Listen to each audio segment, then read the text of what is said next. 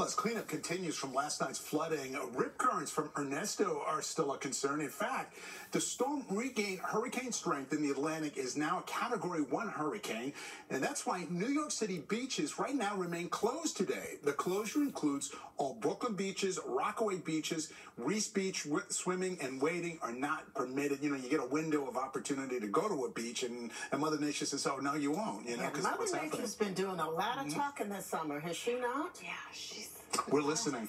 We, we got to listen yeah. with these kind of conditions, right? The the images that our reporters are showing mm -hmm. are just mind boggling. And then you look at the numbers yeah. and think, yeah, that's the power of water, right? When you're seeing five, ten inches of rainfall in a short amount of time, it has the power to wash away roads and unfortunately homes. We saw that last night, and such a relief that right now things are mostly dry, but we're already starting to see the radar come back to life. It's not what you want to hear when so many communities are still trying to clean up after last night. Temperatures across the five boroughs generally in the 80s. We're at 82 for Coney Island, 83 in Gravesend, 80 in the East Village, mid 70s up in the Bronx at Fordham. We're at 82 in Newark, 79 down the shore for Belmar, 81 for Islip. It's really humid, upper 60s, low 70s. Still a lot of moisture out there. You can feel it as you step outside, and you can see it for parts of our northern suburbs as some of these spotty showers start to redevelop as expected, associated with the front that swings through tonight. Port Jervis getting a downpour right now over through Goshen, getting some light rain. It looks like a pocket of rain near Accord, and then further south, uh, parts of Morris County seeing, seeing some rain this morning. They also had some significant flooding yesterday,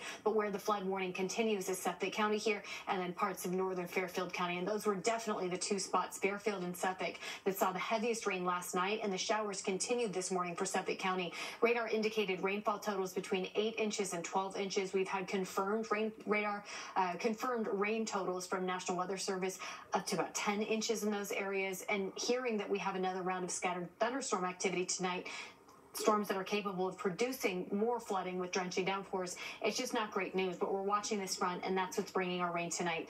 Uh, David mentioned it. Ernesto back to a Category 1 hurricane. Again, this is five or 600 miles offshore, but still sending us the rough surf and the rip current risk for Atlantic-facing beaches. So that's down the Jersey Shore. It's the south shore of Long Island here and weighs four to seven feet. Not only is that rough water and dangerous for swimming, but also can contribute to coastal erosion, coastal flood advisories for southern Nassau and down the Jersey Shore as we move toward high tide time. And then we have the severe risk, uh, the entire area under a level one risk for severe weather, with our primary concern, of course, being flooding. When we look at the flood risk, the majority of us are under a level one risk, but portions of Fairfield under a level two risk for flash flooding again tonight because of the thunderstorms that redevelop.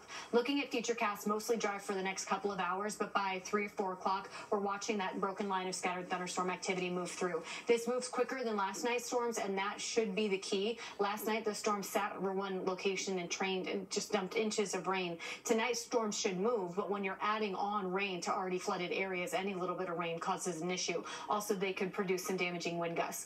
The rain should move on by the time the sun rises tomorrow morning, and then the dry air finally kicks in, and we're clearing out the cloud cover. Tomorrow gets better and better throughout the day, but today it does get a little worse as those thunderstorm chances redevelop late afternoon, early evening. Until then, it is warm and humid, low 80s under a mix of sun and clouds. Again, spotty thunderstorms tonight, and then by sunrise tomorrow morning, we should dry out. The rest of the seven day forecast is spectacular. Tomorrow, Wednesday, actually might be a little cool with highs in the low 70s, but we'll take it because it comes with sunshine. Yeah. But we got to watch those storms tonight with the threat for flooding. Yeah, a lot to look forward to on the other end of it, yes. Thanks a lot. Yes. Well, coming up, frightening kidnapping attempts. The latest on two cases of it in the same community. How Good Samaritan stopped them. And funeral services for a New York City fire marshal who died in the line of duty. ABC7 for Brooklyn's biggest summer party, the BRIC Celebrate Brooklyn Festival. Drop the beat all summer long at the Lena Horne Band Shell in Prospect Park. Don't miss this week's live performances. Get the full schedule at bricartsmedia.org or abc7ny.com.